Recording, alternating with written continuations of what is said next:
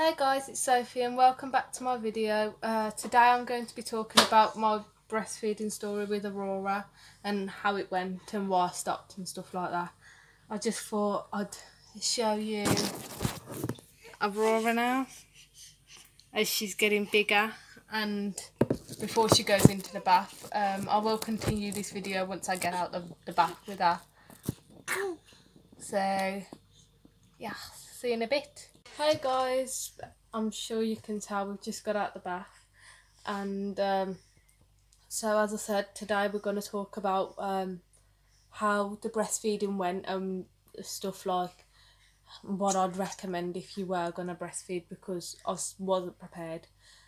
Because um, originally I was going to only breastfeed for the first feed because I heard that it was like healthier for the baby and stuff like that. Like it's the most nutritious thing for the baby to have.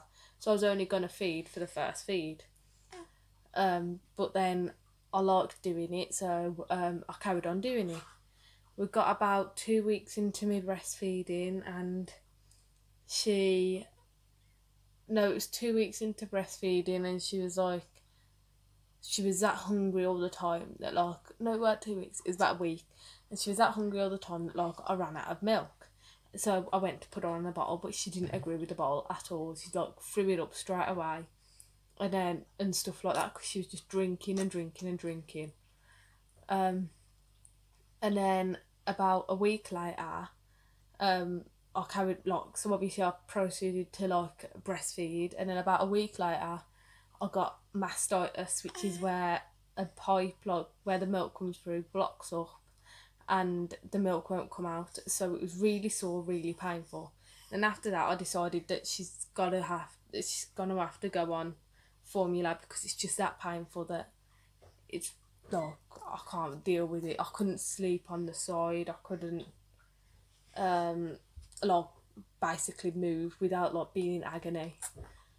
So that's when we went on to the formula. We put her on Aptamil and she was fine from that. But I think if I would have had um, a pump, like an electric pump, because the one, like having the manual one, it just really wasn't helpful. I would have, like, if I could have done it again, I would have got the electric pump, but I didn't have the money to get an electric pump at the time. Like, obviously, I was still buying stuff for the baby and stuff like that. Like, because no matter how prepared you think you are, like, I really wasn't as prepared as I thought I was. Like, thought I had everything, and then next thing I know, I needed this, and I needed that. Like, we didn't have the right size nappies because we didn't expect it to come out as small as she did and stuff like that. Um, but I would recommend getting an electric pump because doing the manual one, it's just uh, aches your arm and you're there for ages trying to get something. But obviously, you can get something out, but it's taking a lot longer than what it would with an electric one. Um, but now I do regret stopping breastfeeding, but obviously it was the best thing for me at the time. Like, but she's fine with the Aptamil and stuff now. It turned out that like all I was doing wrong was that she didn't like the Tommee Tippee bottles, which most babies do like. So obviously I brought a load of them. I gave her the Tommee Tippee bottles, but she was just drinking so quick from them. And I even had it on like the, the lowest heat you can get, so the slowest flow. And she was just drinking so quick from it, she was just throwing it all back up. So then I had to change to the MAM bottles, which are these ones, which have like a, it's meant to be specially designed teeth, designed by dentists and stuff like that, to meant to be like the nipple. And when she's had them, she's been absolutely fine. Like obviously she's had a little bit of sickness like when the weather's been really hot because like in the UK today there's been like not today but like recently there's been really really hot weather which obviously none of us are used to so of course it's going to play out with the babies and stuff like that. Um, but that's really the uh, only time she's been sick since changing onto the MAM bottles. But I think that's all I'm going to say about the breastfeeding. Just if um, you are having a baby or you are going to like think about breastfeeding or are definitely going to breastfeed, make sure you're prepared. Like I I'd say for a main checklist, make sure you've got nipple cream because it does hurt, it does crack, and it does bleed most of the time.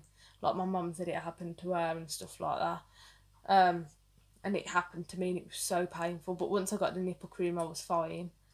Um, get an electric breast pump because the manual ones just take forever and ever and ever. And to be honest, you don't have the time doing that with a newborn baby. You're doing everything else for them few minutes when they're down sleeping and they don't want it. Stuff like, and like that.